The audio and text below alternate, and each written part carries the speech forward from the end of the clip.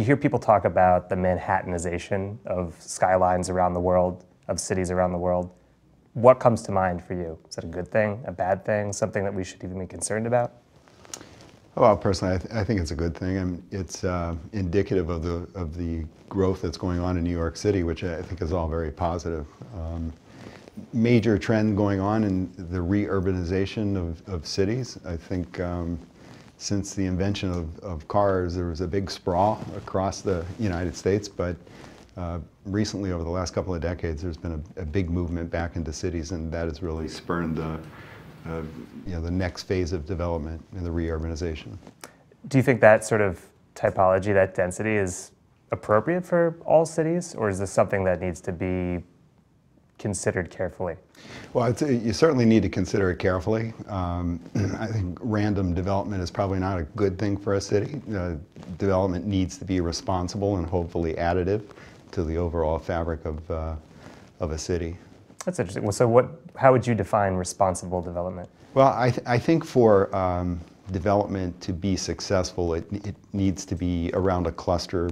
Um, there needs to be a lot of amenities um, and um, you know a, a, lot of things that basically add to the fabric of a, of a precinct. So you're basically creating a, a precinct. When you think about successful cities, pre-automobile, you know, everything was within a 20-minute walking distance. I think that's where we had we're, we're heading again. So, you know, all those things that uh, make a precinct successful need to be thought through carefully. Hmm.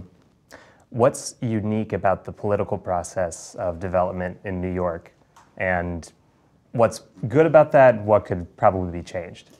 Well, look, I, I think uh, big city politics is big city politics no matter where you are. Um, and you know, when you think about New York City and the periods of time when we were most, most productive, there was a healthy input and incentives provided by, um, by the public sector. So, you know, think back to the 90s or so when um, Times Square was developed. There was a lot of incentives provided to clean up what was then a derelict neighborhood. Um, it became a very important uh, contributing part, part of our city. Post 9-11, um, the city provided um, Liberty bonds, uh, which helped rebuild lower Manhattan. Right now, the Hudson Yards, uh, the next major area of development in New York City, in Manhattan in particular, um, there's incentives for, for, development as well as rezoning. So, you know, I think those things are those are important. Um, right now, the current administration is very focused on affordable housing. I think their policies are at their infancy. Um, and um, you know, there's some more work to be done, but I, but I think it's certainly uh, an admirable uh, cause. Are there ways, generally speaking, in which incentives could responsibly encourage affordable housing? Yeah, I think end of the day, it's all about the math, to be honest. Like I've, I have yet to find a successful not-for-profit developer. Um, you know, they will, developers build what, what they can afford to build. So there, you know, there has to be economic incentives to to help developers um, provide affordable housing, which is important to the diversity of a city. So a lot of people have talked about, in New York especially, wanting to build a New York building, or developers seem to always be, I don't know if under pressure is the right way to put it, but quick to say that this is very much of the character of New York, and that goes for any city they're developing in. Um, for good reason, people want to live in and support buildings that seem to be of the place that they are being built in. Um, to you, what is a New York building? Yeah, for, for us in, in Brookfield, and we're very active all around the world um, in developing, and, but for us, it's, it really starts from the inside out. It, you know, for us to uh, undertake development of a property, it has to work for, for the ultimate end user. So, you know, we make sure that the building has floor plates and ceiling heights and systems and uh, sustainability initiatives which are of the moment, uh, the best thinking at the time, but also adaptable so that they can be upgraded in the future.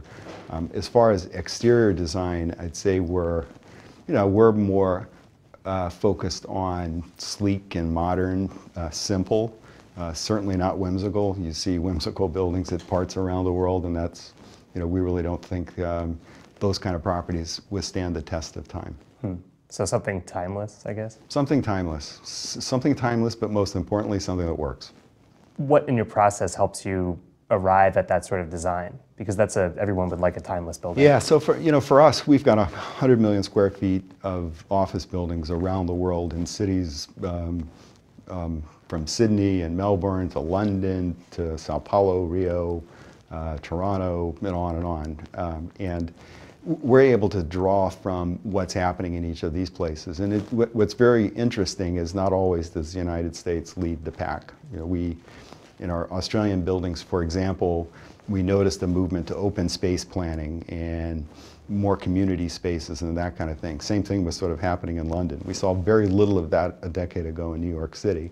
So we're able to draw on um, these experiences all around the world to, you know, to help influence what we do here in New York. Which is appropriate, New York being such a global city to be influenced by cities from London or Rio. Yeah, absolutely.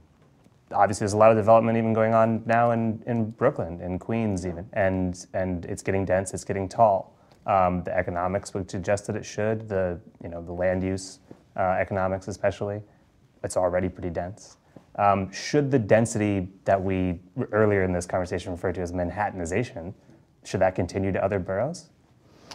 Yeah, I th- i- absolutely, it should, and um, for a lot of different reasons. But one important reason is really affordability. You know, we're, we're building an apartment building in Manhattan, um, and just because of the cost of construction and the land cost, the rents that we need to make that apartment building viable are about $90 a foot. So we're also just beginning a development on the waterfront in Brooklyn, a, a similar sized project, and we can charge rents that are third cheaper. So if you think you're think, think of a, young person, young professional starting out in, in the New York area. Um, Brooklyn is a great place, and this particular project that we're doing in Brooklyn is on the water, uh, fantastic views, um, great amenities, great neighborhood.